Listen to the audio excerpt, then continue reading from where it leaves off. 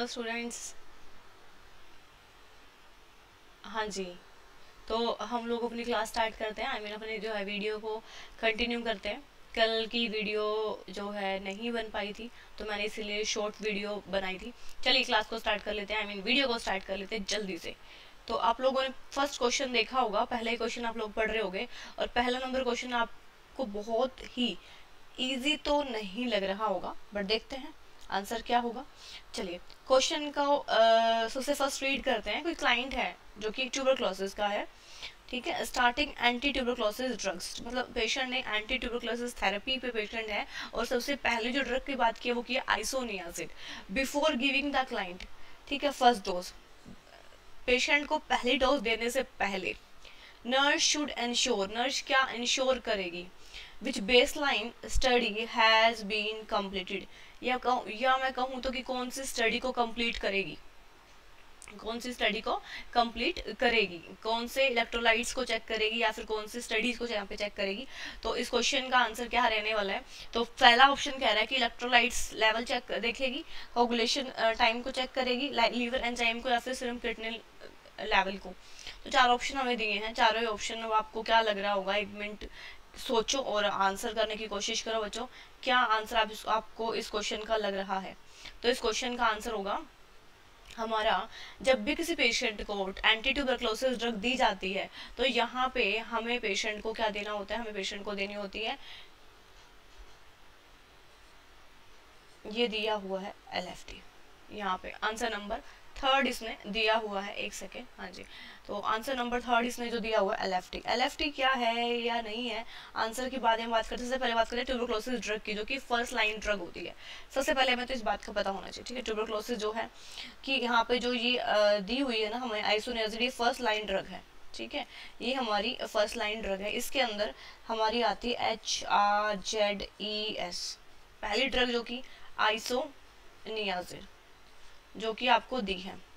Second drug होती है rifampicin आपको पता है मॉर्निंग में वीडियो बनाना सुबह सुबह बहुत ज़्यादा कॉम्प्लिकेशन कॉम्प्लिकेटेड होता है क्योंकि सुबह ज़्यादा बोल भी नहीं सकते हैं। और मेरी वॉइस तो वैसे ही ऑलरेडी बहुत तेज है। पैराजिनामाइड है। ई e से इथाम ब्यूटोल थोड़ा सा ध्यान से बोलना पड़ेगा वही ethambutol S stand for streptomycin वैसे ही बहुत आवाज़ गूंजती है। ये हमने लिखी फ़र्स्ट लाइन ड्रग ठीक है, पहली फ़र्स्ट लाइन ड्रग हम लोगों ने लिखी है। तो हम्म फ़र्स्ट लाइन ड्रग हम लोगों ने लिख ली है। अब हम बात करते हैं इस ड्रग के होने वाली कॉम्प्लिकेशन के साइड इफेक्ट्स की। आइसोनियाजिड जो ड्रग होती है बच्चों, सबसे ज़्यादा लीवर पे इफ़ेक्ट करती है। मैं कहूँ तो लीवर एंजाइम्स को बढ़ा देती है। लीवर एंजाइम्स को इंक्रीज करती है और पहले तीन मंथ मतलब पहले तीन मंथ तो बहुत क्लोजली मॉनिटर करना पड़ता है पेशेंट को। थ्री मंथ तो पेशेंट को क्लोजली क्या करोगे आप लोग? मॉनिटर करोगे। ठीक है? रिफेम्पेसिन आप सबको पता R four rifampicin R four red colour urine कराएगी। ये जो हमारी, है ना? ये जो ड्रग है, ये रेड कलर यूरिन कराती है। पाराजिनामाइड जो होती है, ये क्या कराती है? पेरिफेरल न्यूरोटॉक्सिसिटी सॉरी नेफ्रोटॉक्सिसिटी ठीक है? और आपका इथेम ब्यूटल जो होती है ई फॉर इथेम ई फॉर आई डैमेज तो ये क्या करती है? आई डैमेज करते हैं या फिर क्या करेगी?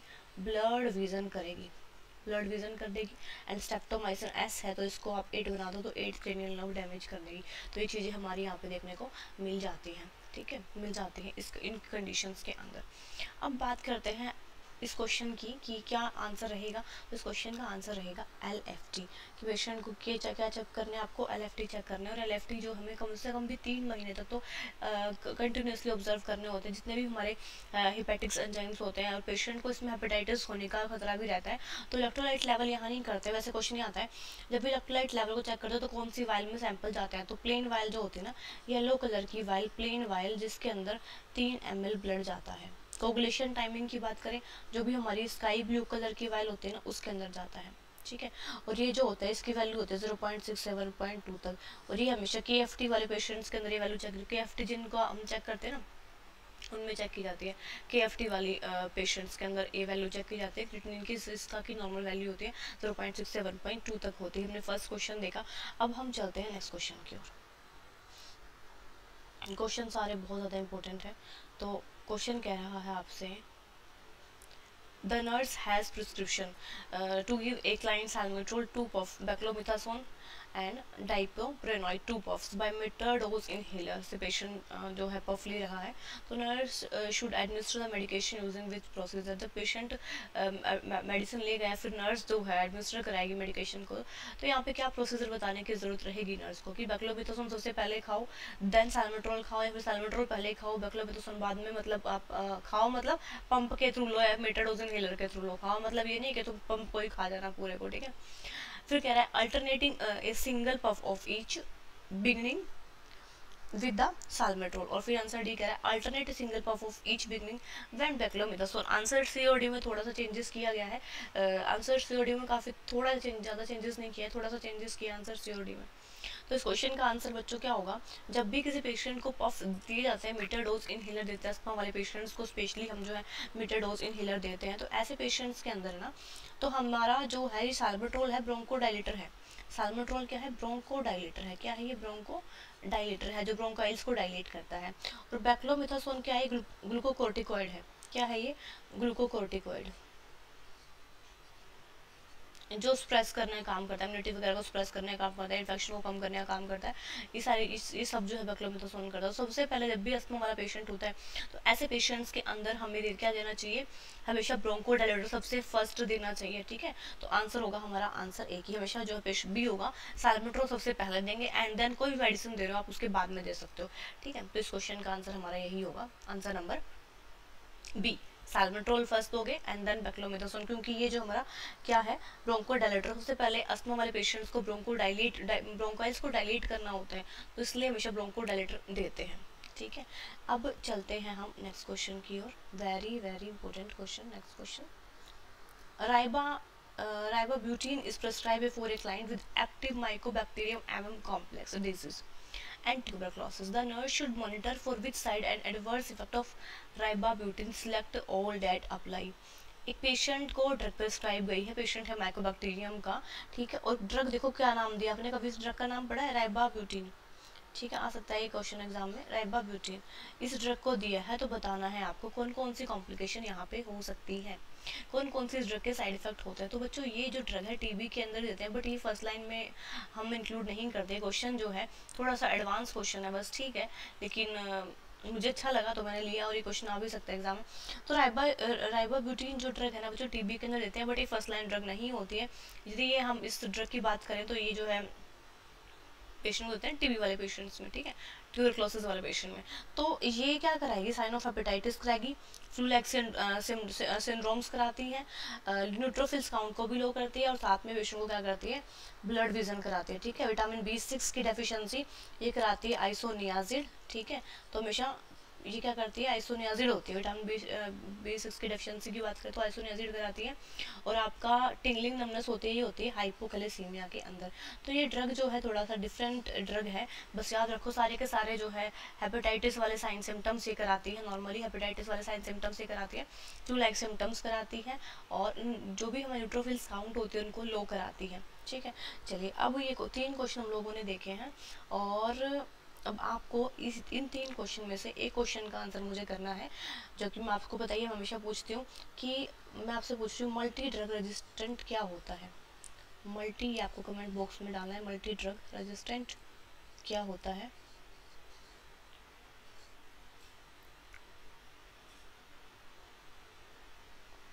एंड ट्यूबर का बैक्टीरिया कौन सा होता है? टीबी बैक्टीरिया बताना है और मल्टी ड्रग रेजिस्टेंट बताना है। आगे चलते हैं हम। नेक्स्ट क्वेश्चन की ओर।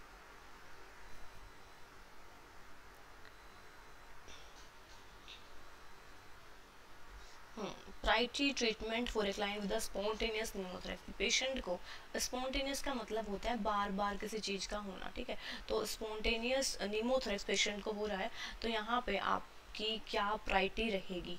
ठीक है हाई फॉर्मुलर पोजीशन दोगे पेशेंट को, या फिर आप दोगे पेशेंट को एक्टिविटी सारी की सारी एक्टिविटी बंद कर दोगे पेशेंट की, या फिर आप पेशेंट को चेस्ट ट्यूब प्लेसमेंट दोगे, या फिर आप हाइपर बैरिक चैम्बर लगाओगे पेशेंट को तो क्वेश्चन बहुत अच्छा है।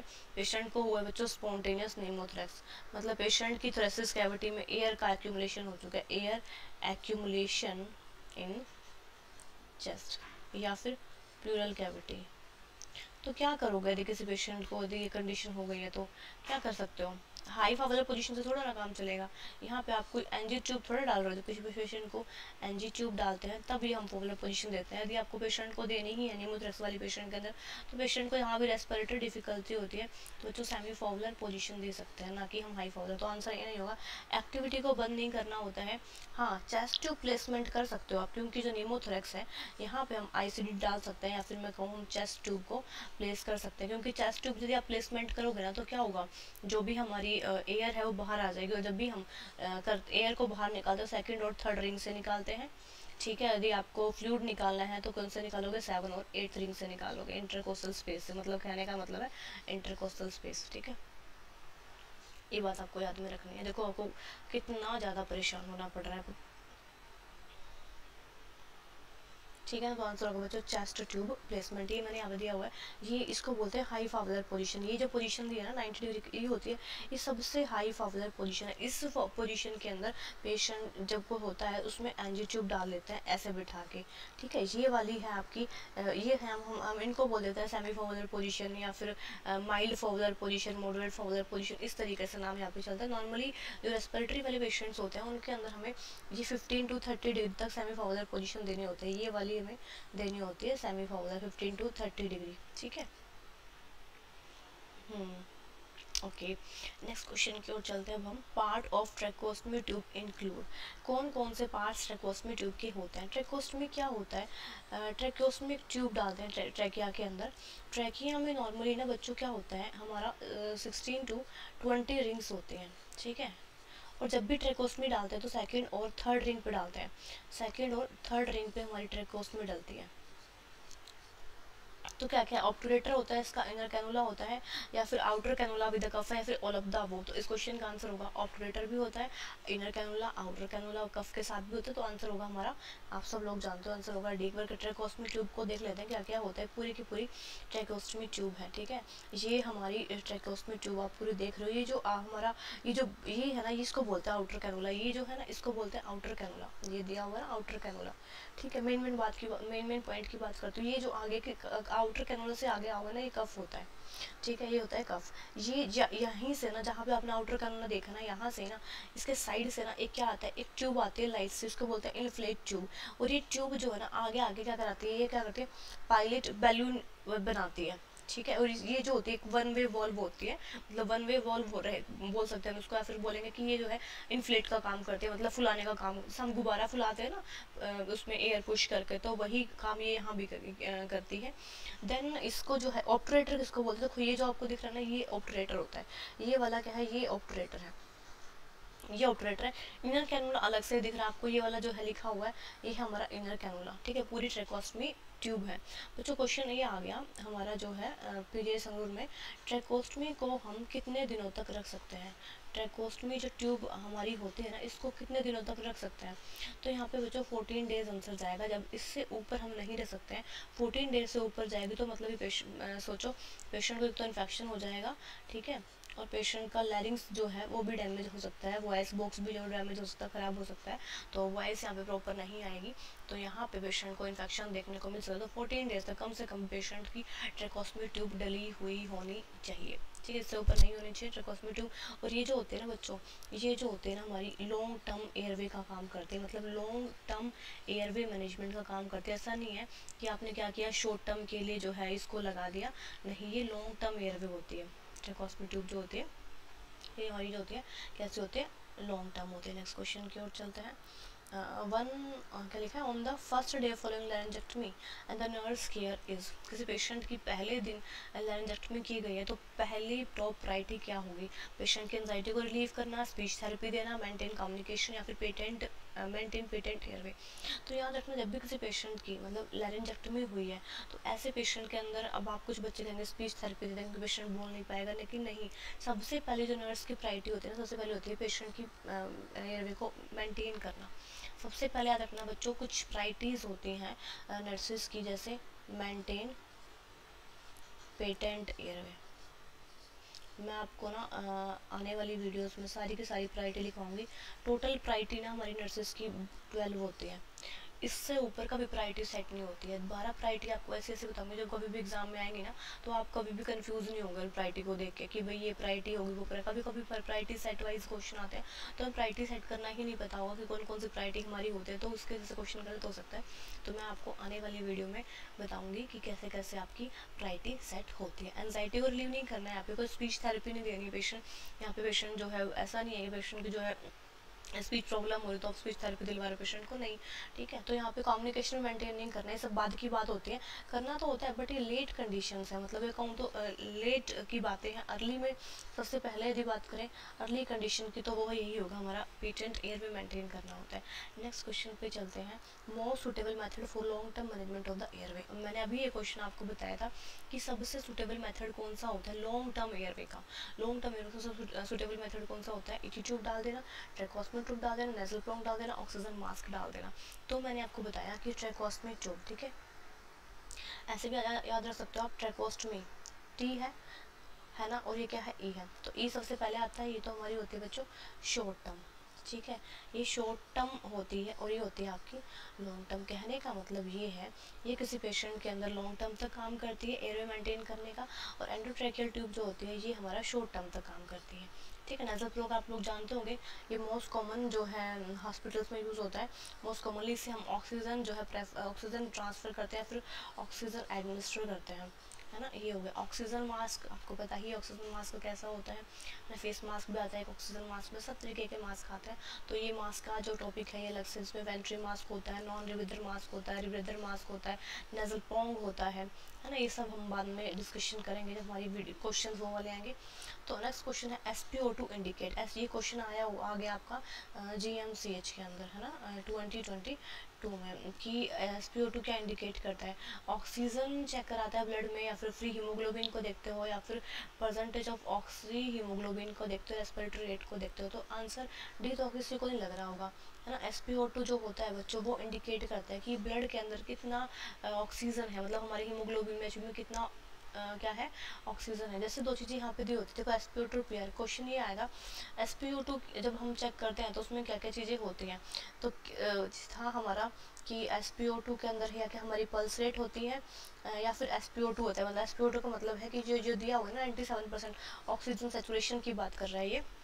तो हमारे जो ब्लड के ऑक्सीजन सेचुरेशन होता है, वो होता है फिर पल्स रेट भी होती है तो दोनों ही चीज़ें इसके अंदर होती हैं तो हमारा आंसर जाएगा कि बहुत ठीक है? कभी भी एक सिंगल जो है इस क्वेश्चन का आंसर नहीं जाएगा तो एस के साथ साथ यदि आपको चेक करना है तो पल्स रेट भी मेजर होते हैं तो मैंने आपको इसलिए ये डायग्राम स्पेशली ये दिखाया है, ताकि कभी ना भूलो। एग्ज़ाम में कि एस ओनली जो है वन चीज़ को कैरी करती है नहीं, ये दोनों चीज़ों कैरी साथ लेके चलती है, हमारे पल्स रेट को भी और साथ में ऑक्सीजन को भी, कितना हमारे ब्लड में ऑक्सीजन है, उसको भी कैरी करती है, ठीक है? दोनों चीज़ों को साथ लेके चलते हैं इससे हम दोनों चीज़ों को डिडक्ट कर सकते हैं। तो इस क्वेश्चन का आंसर क्या होगा हमारा? सी होगा ना कि बी ए बी डी जो भी आप लगा रहे हो, इस टाइप क्वेश्चन जो हमारे क्वेश्चन आता है तो ऑप्शन ऐसे नहीं आते हैं। ऑप्शन थोड़े से अलग आएँगे। तो ये पूछेगा कि एस होगा पल्स रेट होगा या पल्स रेट नहीं होगी तो या फिर हमारा जो है सी और डी करके भी ऑप्शन देगा आपको एग्जामिनर तो लेकिन इस क्वेश्चन का आंसर वही होगा कि पल्स रेट भी दिखाता है और ऑक्सीजन का सेचुरेशन भी दिखाता है। ठीक है? और एस हमेशा बोनी एरिया से चेक किया जाता है। नेक्स्ट क्वेश्चन है parameter need to be monitor in a client receive morphine morphine sulphate इस दो बार टाइप हो गया।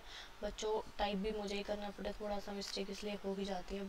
आप समझ सकते हो कि टाइप करना बहुत सारा काम हो जाता है। ठीक है, फिर वीडियो को अपलोड करना। इसमें मैं तो काफ़ी टाइम लग जाता है। चलो, आगे चलते हैं। कौन सा पैरामीटर्स है जो कि हम मॉर्फिन सल्फेट के टाइम पे हमें असेस करना होता है? Dependent reflexes respiratory rate temperature and pulse rate तो मॉर्फिन सल्फेट है क्या? देखो मॉर्फिन सल्फेट है ना, एक ड्रग है। मॉर्फिन सल्फेट ना बच्चों, एक ड्रग है। ड्रग है। जो कि हमेशा, जब भी हम किसी पेशेंट को देते हैं ना तो ये एट टू टेन एम देनी चाहिए। पहला क्वेश्चन तो ये बन गया।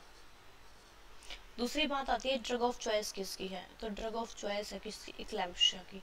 जिसके अंदर पेशेंट को आते हैं सीजर ठीक है।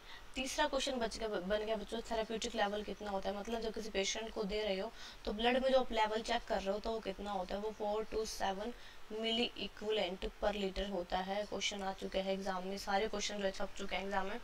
देन उसके बाद इसके साइड इफेक्ट्स क्या क्या इसके साइड इफ़ेक्ट होते हैं? जो क्वेश्चन पूछा है डिपेंडेंट रिफ्लेक्सेस है रेस्पिरेटरी रेट है टेम्परेचर या पल्स रेट ये क्या करता है? तीन साइड इफ़ेक्ट इसके इतने भयंकर है ना, हद से ज़्यादा रेस्पिरेटरी रेट को क्या करता है? डिक्रीज करता है।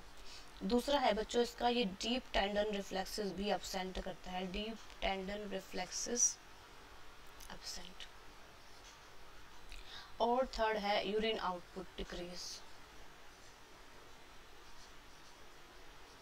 तो मैंने आपको बोला कि मॉर्फिन सल्फेट जो है, एक ड्रग है जो कि हमेशा हमें जब भी इनिशियली स्टार्ट करनी होती है ना दी इनिशियल पीरियड पे है हम, और एडल्ट की बात करूँ मैं तो ये जो है एट टू टेन एमजी से स्टार्ट करनी चाहिए हमेशा, और ये हमेशा आई वी रूट से देनी चाहिए।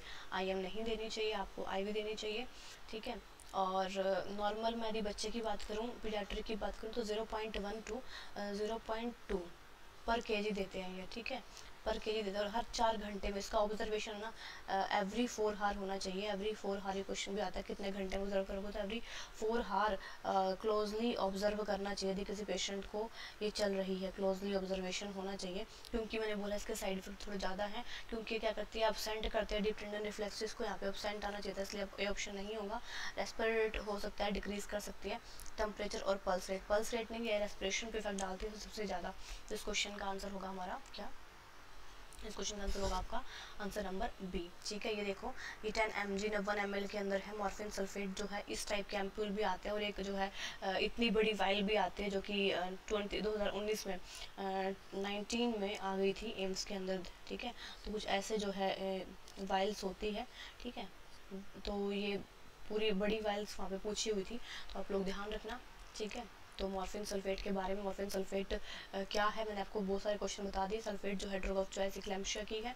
हमेशा eight to ten M G जब भी आप स्टार्ट करो तो इतना देना चाहिए। हर चार घंटे में इसको ऑब्ज़र्व करना चाहिए। कुछ साइड इफ़ेक्ट होते हैं, जैसे कि रेस्पिरेटो कम करती है आउटपुट को डिक्रीज करती है और साथ में क्या करती है ये डीप टेंडन रिफ्लेक्स को अपसेंट भी करते हैं। जिसका आप पूछे ब्लड में थेरेपेटिक लेवल कितना होता है तो एम जी का जो है फोर टू सेवन मिलीक्लेंट पर लीटर होता है। इसका एंटीडोट क्या होता है? कैल्शियम कार्बोनेट इसका एंटीडोट होता है।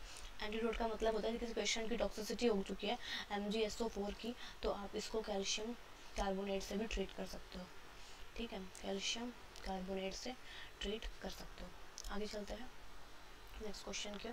Remove all entire lungs is called यदि किसी पेशेंट का पूरा एंटायर लंग्स को बाहर निकाल रहे हो तो उसे क्या कहते हो? निम्नेक्टमी कहते हो सिगमेंटल सेक्शन कहते हो लोबेक्टमी कहते हो कार्डिक सर्जरी कहते हो तो आई थिंक इस क्वेश्चन का आंसर आप सभी जानते होंगे। यदि हम किसी पेशेंट का लंग्स बाहर निकाल रहे हैं रिमूव कर रहे हैं तो उसे बोलते हैं निमोनेक्टमी है ना?